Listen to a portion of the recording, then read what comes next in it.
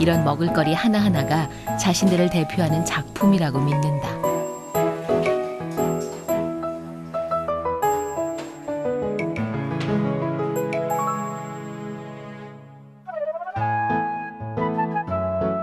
대전에서 태어난 세자매는 음식 솜씨 뛰어난 어머니 밑에서 자랐다. 대학 졸업 후 푸드 스타일리스트로 일했던 윤정 씨는 환상의 팀을 만들고 싶은 욕심에 큰언니에게 동업을 제안했고 뉴욕에서 일하는 막내까지 불러들였다. 그렇게 세 자매 작업실이 시작됐다.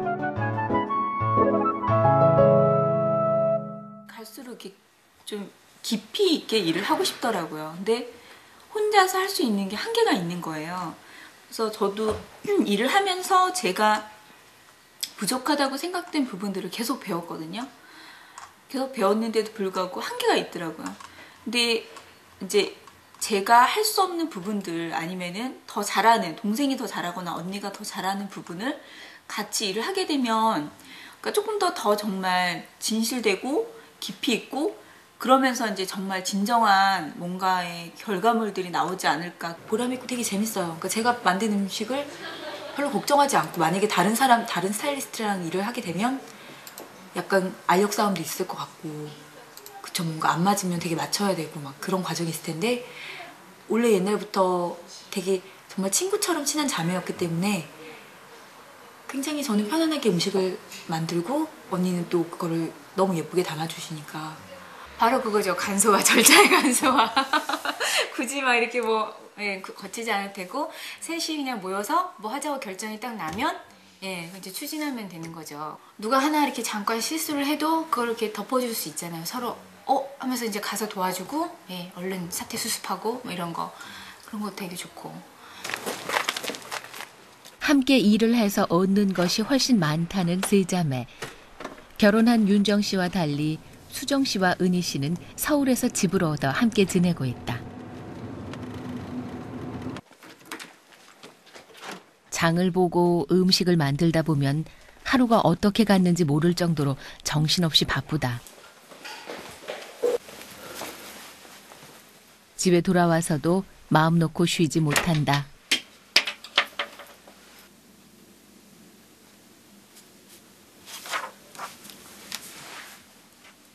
은희 씨는 신문과 잡지에 칼럼을 쓰기도 하고 요리 강의를 하기도 한다.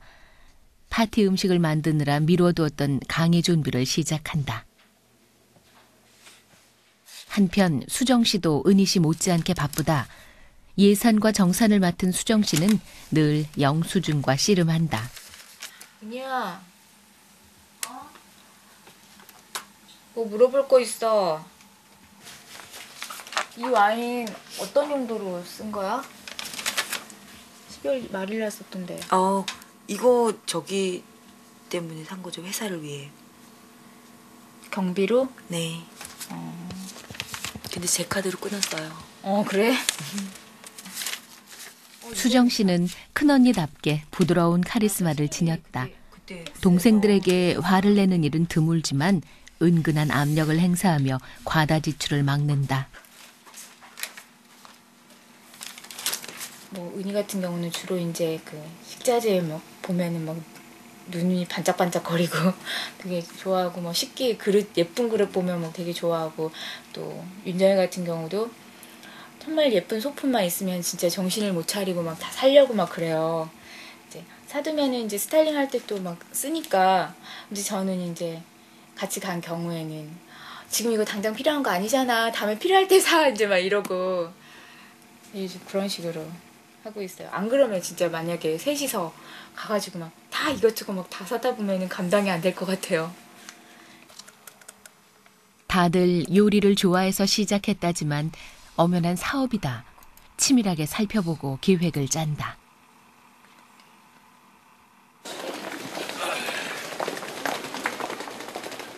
며칠 후 윤정 씨가 걸음을 재촉한다. 푸드 스타일리스트인 윤정 씨는 광고와 잡지 촬영에 요리와 스타일을 담당한다. 그릇과 소품이 절대적으로 필요한 일이다.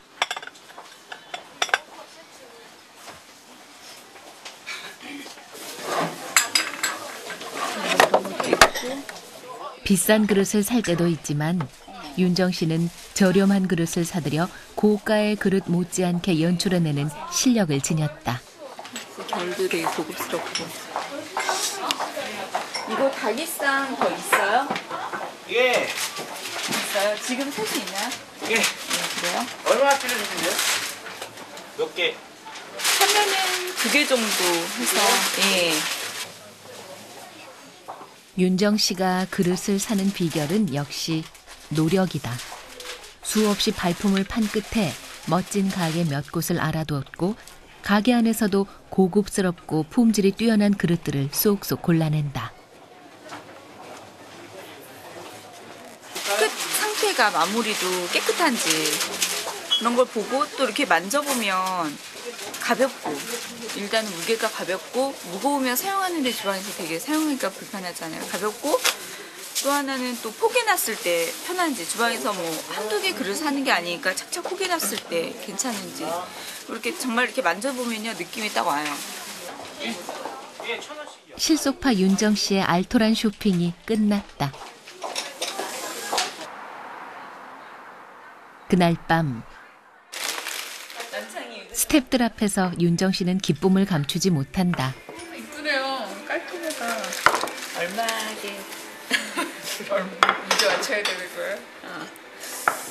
이렇게 같아요. 이렇게 해서 반찬 담아도 너무 예쁘고 어, 예쁘고. 그치 모던하게 이렇게 네. 딱 중앙에다가 담는 거야 반찬 그릇을 사면 반드시 진열해 본다. 너무 화려한 색깔을 고르지 않고 다른 소품들과 조화를 생각하는 것이 윤정 씨가 그릇을 선택하는 또 다른 요령이다. 수저를 받침대에 놓고 하얀 냅킨을 말아서 올린다. 그리고 작은 잎을 꽂아 산뜻하게 마무리한다. 그릇 10개와 닭이상 2개를 사는데 든 비용이 5만 원 남짓. 윤정 씨의 손길이 닿으니 어디에 내놓아도 손색이 없는 작품으로 변했다.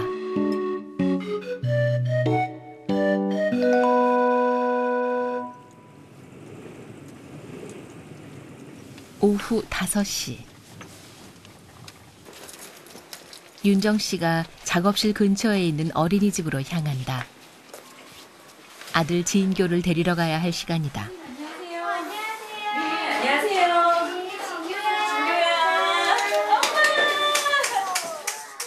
아들을 낳고 한동안 육아에만 전념했던 윤정 씨는 아들의 돌이 지나자 다시 일을 시작했다.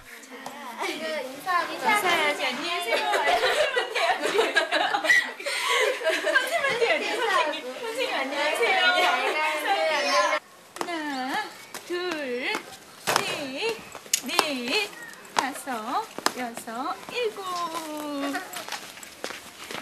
다 훔쳐주겠대요 진교가 친구들과 어울려 노는 게 좋다고 생각했고 또 오랜 시간 자신이 해왔던 일을 포기할 수 없었다. 갔다 왔어요. 진교! 안녕하세요. 진교 오늘 스키 입장인데 엄마이자 아내이기도 한 윤정 씨를 누구보다도 이해하고 배려해 준 건 자매들이다. 어, 나 쑥갓 그때 하고 남은 것도 아, 어, 세자매가 냉장고에 남아있는 재료들을 꺼내기 시작한다. 대개는 번갈아 가면서 식사를 준비하는데 오늘은 함께 저녁 식사를 만들기로 했다. 언니는 뭐 만들 거야? 골뱅이. 언, 언니가 골뱅이, 은희는? 나는 그냥 이 토마토가 약간 빨리 먹어줘야 될 것 같아서 그냥 뇨끼를 할까 얼려놓았잖아 그렇게 좋아해. 자신의 특기를 살려 수정 씨는 한식을, 윤정 씨는 샐러드를, 은희 씨는 양식을 만들기로 했다.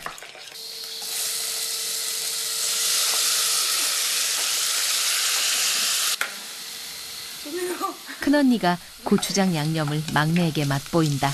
언니 좀더 쉬어도 될 것 같아 아니, 왜, 왜? 아니 맛있어 부자튀는 맛있는데 응. 거기 채소 들어가고 그러면 아, 난 있으니까. 있으니까